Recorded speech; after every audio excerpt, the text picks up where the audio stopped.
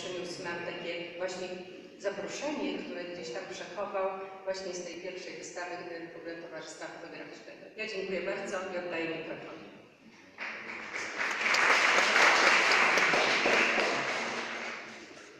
Dziękuję Pani bardzo za bardzo miłe słowa.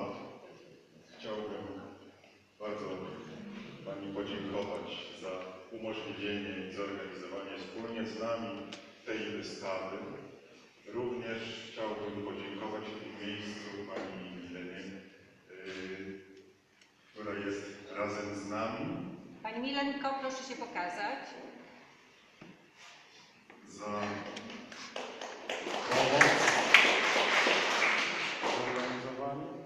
Również chciałbym podziękować za e, bardzo miłą współpracę, jaka e, toczy się między naszym okręgiem, a tutaj Mazowieckim Instytutem Kultury, gdyż co miesiąc nasz okręg ma swoje spotkania w murach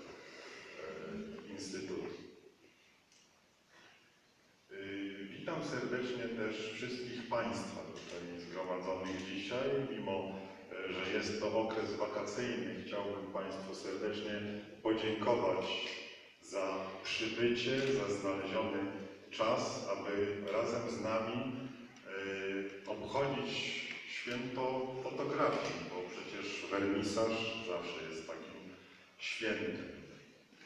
Y, Patrząc tutaj na miłych gości, znajome twarze naszych koleżanek i kolegów z y, towarzystwa, y, ale widzę również osoby, które prawdopodobnie pierwszy raz mają kontakt z nami i naszą działalnością y, artystyczną. Dla nich chciałem powiedzieć kilka słów o tym, kim jesteśmy. Początki naszego związku rozpoczynają się w roku 1994.